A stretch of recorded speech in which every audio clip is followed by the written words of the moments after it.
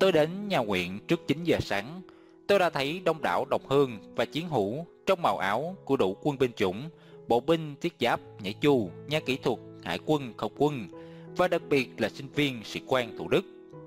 Một số đang chuẩn bị cho lễ phủ kỳ. Toán phủ kỳ được chỉ huy bởi một cụ lôi hậu trẻ, quay phong với cây kiếm bạc bên hông, cùng với hai cụ thiết quân lục chiến bồng súng chào và tám chiến hữu thay mặt các binh chủng trịnh trọng nâng lá quốc kỳ Việt Nam Cộng Hòa để phủ lên quan tài của một vị niên trưởng mà danh tiếng của ông đã được mọi người biết đến, mãnh sư đại tá Nguyễn Văn tường Đại tá Tường vẫn còn đủ nét cương nghị trên khuôn mặt, trong bộ quân phục nhảy chu, chiếc nón đỏ trên ngực, nằm bất động trong chiếc quan tài như một tiên thần chỉ đang ngủ say. Từng người lần lượt đến cung kính chào ông lần cuối, vài người ôm quan tài khóc sức mướt. Các nhà sư, trong đó có một vị sư người Mỹ, niệm kinh hành lễ. Niên trưởng vụ trọng mục, người bạn có nặng tấm lòng, đứng ra tổ chức tang lễ cho người đồng môn cùng khóa Việt dân Thủ Đức, khóa 5, đã thưa với tất cả mọi người là ông rất hạnh diện và sung sướng để được làm việc này cho một người bạn đức độ anh hùng. Ông cảm ơn những bạn bè chiến hữu ở Bắc Cali đã dành cho ông cái vinh dự lớn lao và cảm động này. Một số đông bà con, chiến hữu, đại diện cho hội đồng hương và tiểu khu Bình Định, có người đã từng làm việc bên cạnh đại tá Tương, đứng thành hai hàng dài trước quan tài, rút xuôi nói lời ngưỡng mộ, biết ơn và từ biệt ông.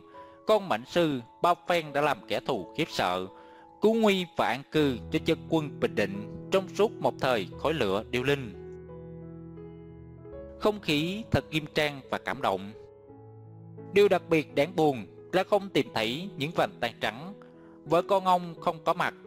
Chẳng lẽ họ đã thực sự cạn tình, cạn nghĩa, quên mất thế nào là nghĩa tự nghĩa tận, hay là vì một lý do nào khác? Người đàn ông quỳ lại, dân hương và đội sở trước ban thờ hôm nay, xin được nhận ông như nghĩa phụ, là con rể của cụ đại tá Trần Đình Vị, vị tiểu khu trưởng, người bạn chiến đấu một thời với ông ở Bình Định, nơi ông đã lập nhiều chiến tích vẻ vang, mà dư âm sẽ còn vang chọi mãi trong lòng người và sử sách. Trong nhà nguyện hôm nay, ngoài những cụ chiến binh, bằng hữu, còn có rất nhiều người, mau hết chưa từng quen biết Đại tá Tương. Họ đến đây với lòng ngưỡng mộ và kính yêu ông. Họ đến để nhìn mặt ông lần đầu cũng là lần cuối, khóc chào tiễn biệt một vị anh hùng. Ông ra đi nhưng không bao giờ chết, ông sẽ sống mãi trong lòng mọi người. Và hôm nay, dù vợ con ông không đến, trước quan tài thiếu mấy và tan trắng.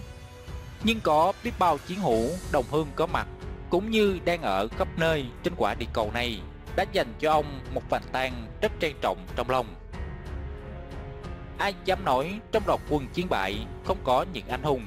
Quân lực Việt Nam Cộng Hòa có rất nhiều vị anh hùng. Và mãnh sư Nguyễn Mạnh Tường rất xứng đáng để được gọi là một anh hùng. Ông ra đi nhưng sẽ không bao giờ chết Và không bao giờ cô đơn. Dù trên chính quê nhà hay ở chốn xa hương